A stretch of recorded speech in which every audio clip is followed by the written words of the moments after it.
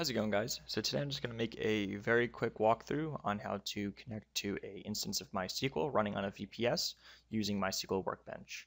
So all you'll need is MySQL Workbench installed on your computer and a VPS running uh, MySQL. I'll be using PuTTY to log into my VPS. I'm running a DigitalOcean droplet and it has Ubuntu 18.04 as the OS. Great, so now that we're logged in, the first thing we're going to have to do is just start up MySQL. Now that we're logged in as the Unix user, what we're going to need to do is create a pseudo admin account that'll allow us to log in through MySQL Workbench.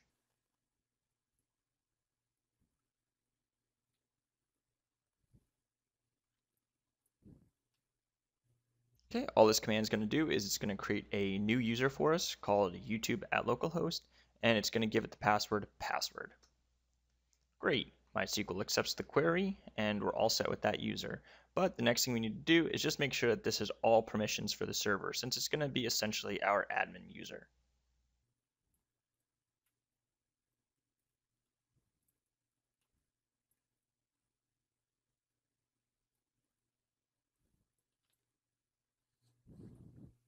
Great. All that command does is it gives all permissions everywhere to our new YouTube account. Okay, and with that, our sudo admin account should be all set up so we can switch over to MySQL Workbench and begin logging in.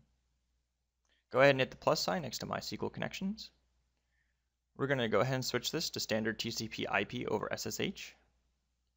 Go ahead and change your SSH hostname to your uh, VPS IP. Also make sure to give it a connection name. Here you're going to do the username that you usually log into your uh, into your VPS with over PuTTY. You're going to want to leave this as local, and you're going to want to leave this port standard. These this is what uh, MySQL should be listening to if it was just installed with the standard settings. And the username, we're going to do YouTube since that was the uh, user that I created. What we'll do is we'll just go ahead and test the connection.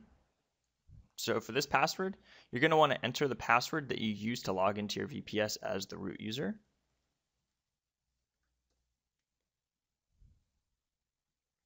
And for this password, you're going to want to use whatever the password is that you set up with your sudo admin account.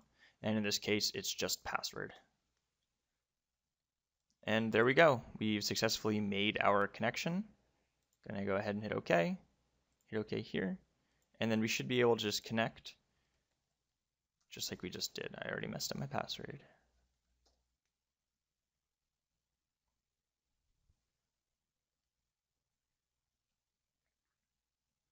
Great.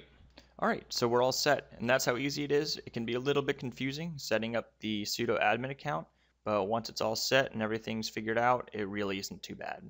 Thanks for watching.